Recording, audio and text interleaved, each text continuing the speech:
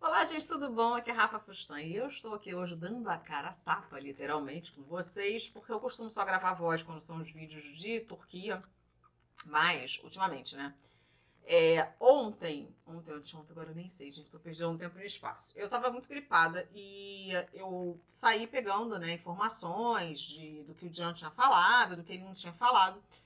E aí vieram no meu direct e vieram também comentando na própria postagem que eu soltei sobre a fala dele, que eu disse tá com a língua afiada. E eles têm a língua afiada, né, como sempre. Ah, que a questão era a seguinte: ele tinha postado aquele vídeo dele dançando, que eu até fiz uma montagem ali. Montagem, não, botei um fundo musical de Dirty Dance, achei belíssimo. Teve gente falando, ah, mas ele tá dançando mal, ele tá dançando duro, ah, não sei o que. Enfim, gente, o hate é hate, eu não vou mudar a cabeça das pessoas. É, eu só pedi assim pra botar um pouquinho de amor no coração e consideração, porque eu tô vindo aqui muito de, de boa, tá? Muito pra dizer para vocês o que, que eu achei da fala dele posteriormente. Eu já tinha dito a vocês que naquele vídeo, uma, uma senhora, na verdade, chamada Benedetta Montedoro, ela colocou assim: Uou, Jayaman, maravilhoso. É, se prepara porque depois do Sandokan vão te convidar para participar do programa, né, do Dança com as Estrelas com a Mili Carlucci. Mili Carlucci é uma apresentadora que acho que tem 70 anos, da, enfim, uma, uma senhora idosa, né? E ela tem um programa de dança, como aqui tem o Dança dos Famosos, lá é um programa bem famoso da TV italiana.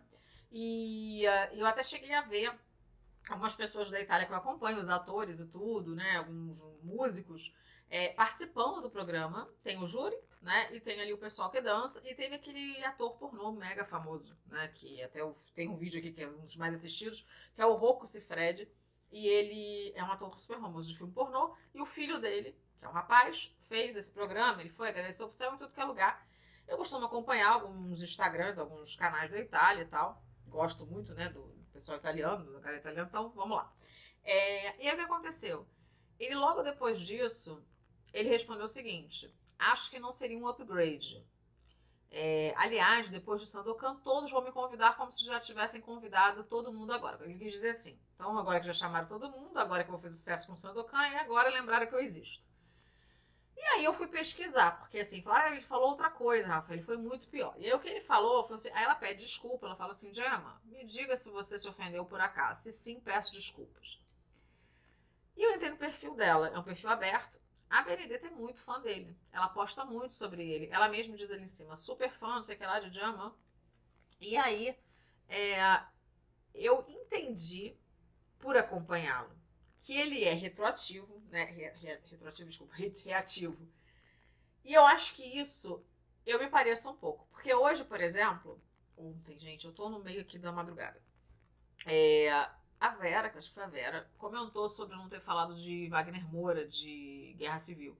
E eu não fui chamada para prestar, eu fiquei muito chateada porque eu sou parceira e muitas pessoas foram que nem postam sobre ele ou, ou sobre filmes diariamente da internet não tem a quantidade de gente que eu tenho me acompanhando e né, meu, meu trabalho foi assim, tipo, ah, então tá bom, então não lembramos da Rafaela, não lembramos da Rafaela. E eu fiquei muito chateada. Então, quando ela veio me perguntar isso, eu vim descarregando, desabafando.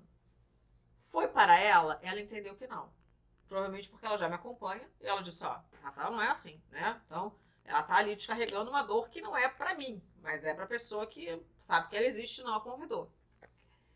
E eu entendi que isso que ele fez, não estou dizendo que ele está totalmente certo, porque ele é uma fã, porque vão ler e ele sabe também, né, que vão puxar isso, mas no calor da emoção, acho que com raiva, ele tem raiva do programa, porque eu fui pesquisar e aí eu achei o seguinte, além de ter achado a resposta dele que eu não tinha visto anteriormente, porque ela não aparece para mim no, no desktop, no desktop, no, no laptop, ela só aparece quando eu acesso pelo celular, ele respondeu a ela dessa vez o seguinte: Benedetta Montedouro, pelo menos os meus fãs, como tu, neste momento, deveriam entender que um ator internacional como eu não faria programas de TV tão mal pagos como os outros fazem. Não ofendido, mas também não achei um elogio. Foi indelicado com ela? Sim. Foi para ela? Não.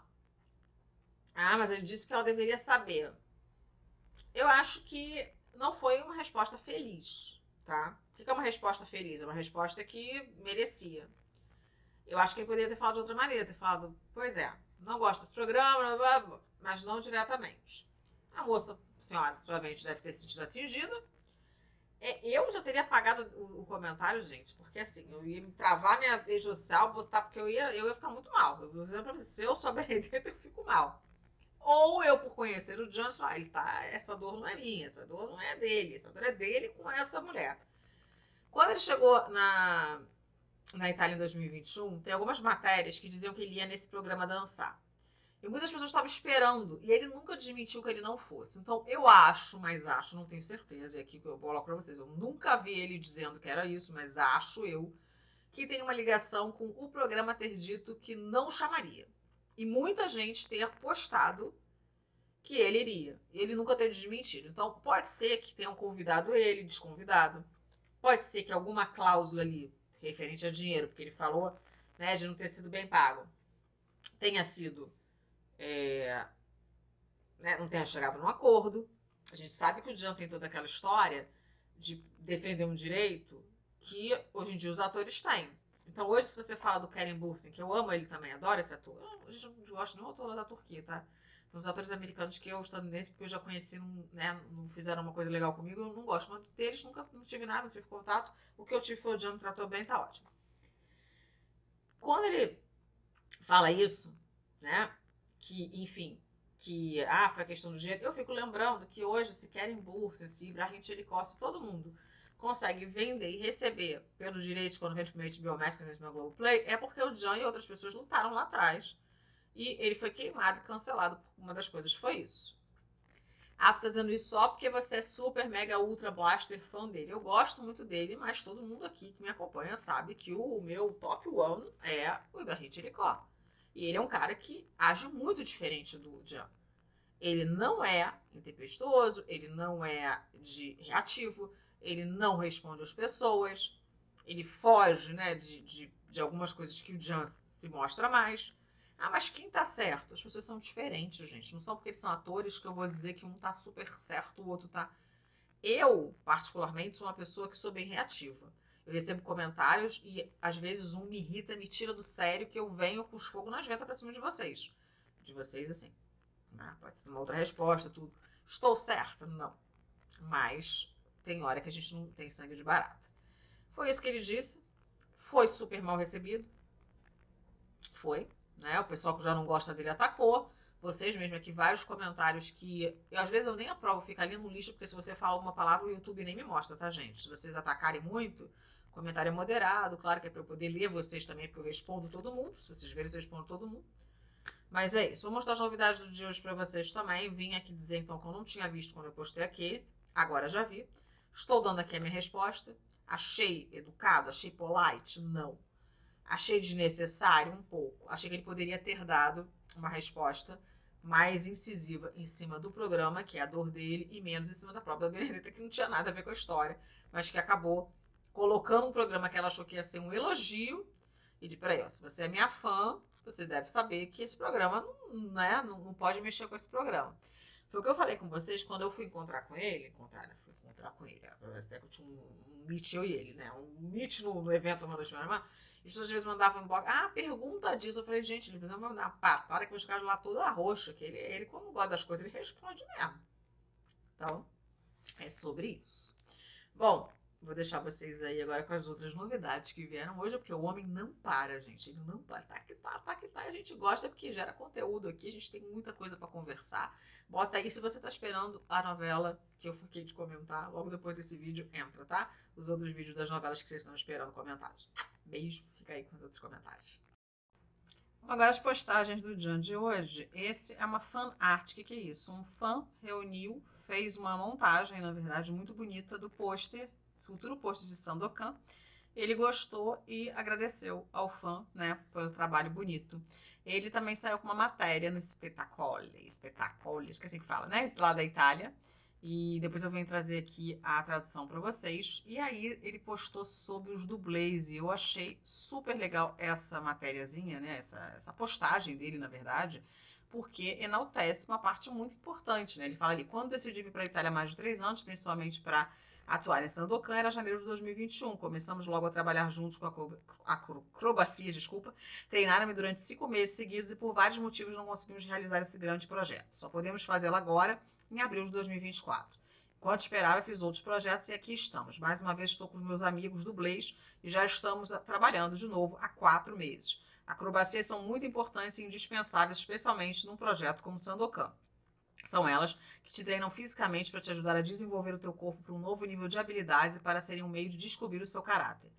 É, desculpas, descu seria desculpado se disser que não são eles que arriscam a vida ah, por ti, quando necessário, ou te fazem parecer legal, o bom ou o suficiente, quando há uma cena em que tens de ser o herói. O mundo dos dublês é um mundo completamente diferente, os respeito muito. Todos os tipos que conheci são tão humildes e gentis como as pessoas deveriam ser e são uma grande inspiração, considerando como simplesmente vivem e arriscam surpreendentemente no mundo de entretenimento, onde todos têm medo de se magoar e desfrutam dessa vitória.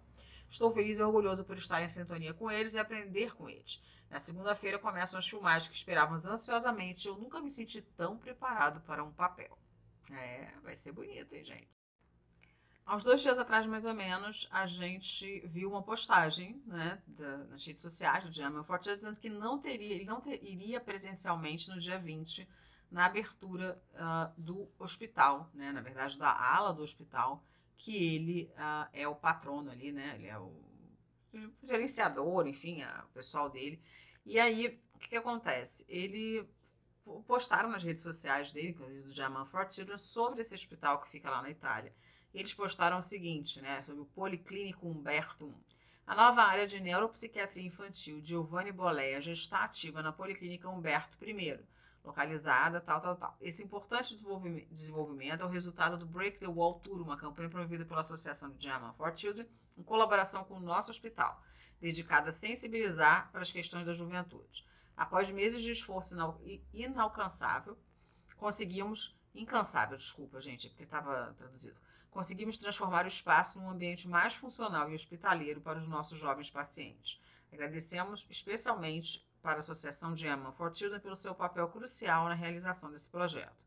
Agradecemos sinceramente a todos os colaboradores e doadores. Seu apoio possibilitou uma melhoria significativa tanto para o nosso hospital quanto para as crianças e adolescentes que atendemos. Muito obrigada por ajudar a fazer esse progresso significativo acontecer. Além disso, Gemma, o fundador da associação, partilhou seu entusiasmo. Estou profundamente comovido por ter alcançado este novo e importante objetivo com Jane for Children. Meu, os meus mais sinceros agradecimentos e todas as pessoas que caminharam conosco nessa missão. Mal posso esperar para encontrar todos vocês para comemorarmos esse sucesso juntos. Esse é um momento de verdadeira felicidade. Então, vamos aguardar.